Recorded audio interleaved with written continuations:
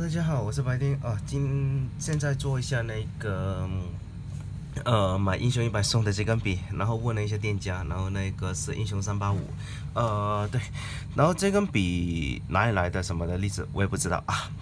等观众们、大神们，然后你们的评论这样子。整根笔啊，比起刚刚的话，它的重量跟无印就。差不多了，然后整个笔夹的话是用玫瑰金的，我没看错，应该是，呃，好像这些年都是流行玫瑰金的，我是喜欢黄金啊，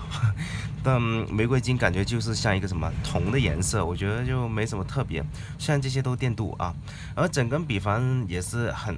怎么说，很实，整个感觉反正也挺不错的，呃，整个黑色的话，有些人会说它的应该。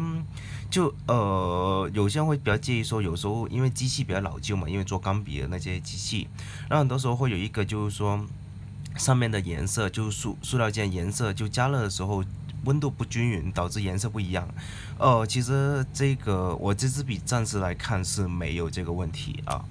那整根笔反正还是叉八四还是我最爱，然后依然是我最讨厌那哎，哇塞，换成白金的这个吸墨器了是吧？整个你这感觉。听到吗？这质量很好啊，这三八五的吸墨器不知道是什么口径了，有没有观众知道？最好给我说一下。这三这个总算是我喜欢的一个吸墨器了，算是，而且这个 手感比白金的那个好，白金那个没有这么说。这我滑到这，然后。推到这里的时候会有卡，就是说这样子一个声音啊，嗯，笔盖的话反正就是正常的，里面你都啊看不到，反正正常一个铜做的一个笔盖，笔杆的话应该也是一个铜啊，然后再烤漆，大概是这样子一个情况。笔舌的话应该是旧笔，因为笔舌是平的，应该是属于一个比较旧的笔这样子。呃，其他的话这块比较厚，有点像那个笔的话本身，我我念那看一下。呃，还行还行，不算细，不算粗，中间偏细，这样子一个感觉。呃，它细，因为你这无印这么一拿，你会觉得它啊，差不多这两个粗度应该差不多，差不多粗度，差不多，哎，对，差不多。那这个细一点就感觉怪怪的，无印这个就反刚刚好。我可能每个人手不一样。呃，整根笔的长度也看一下。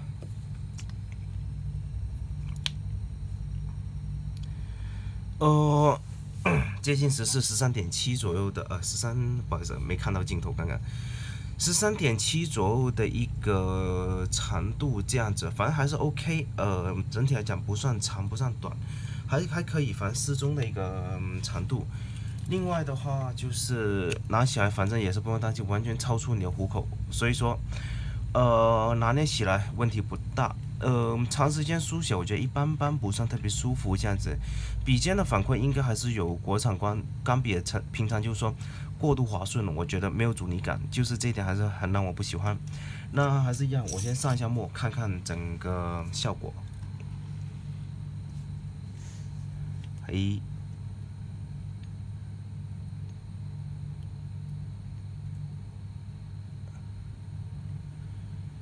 好，OK。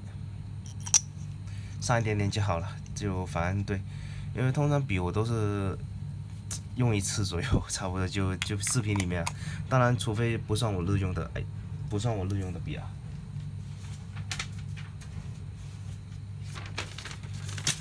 一样试一下书写一下。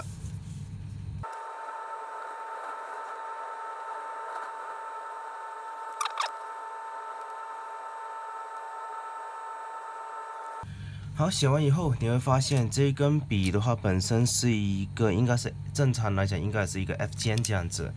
呃，它插拔的手感非常好，你你听一下，就轻轻的一下，非常好的一个插拔手感，笔的话肯定还是不错的，呃，另外呢是这样子，嗯，粗细反正。断墨肯定没有，现在笔不可，我觉得不太可能出现断墨这种情况。呃，粗细来讲跟无印的这根 F 尖也是差不多，那可以拿无印的这根做标准啊，大家。呃，因为我喜它是真的很适中的一根笔，做标准我觉得真的挺不错的。呃，再下来的话，笔的话好不好出锋，我觉得也算是，因为其实我觉得你到一个点的时候去，就是说写到一个点，你能控制好很大，就是说善书者不折笔。那你写到一个位置的时候，你基本上不会说去选择说我一定要这根笔才出风，只是说好的笔肯定会让你有加成。这我觉得这个观点肯定是没有错误。再下来的话，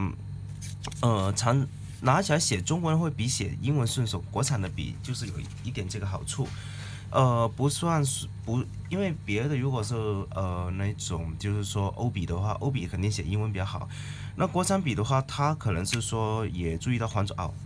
弄到手了，黄种人的一个那个手的大小以及他的一个书写习惯。那写中文来讲，你会明显感觉到，就这根国产笔，它会比欧笔顺手，就比比他写英文顺手，这个是百分百能感觉得到的。好，那一个三八五大概评测就这么多啊，因为外观上面来讲也差不多都很圆润等等的，就很常规的一根钢笔。对，好，那个视频就到这，那个下次见。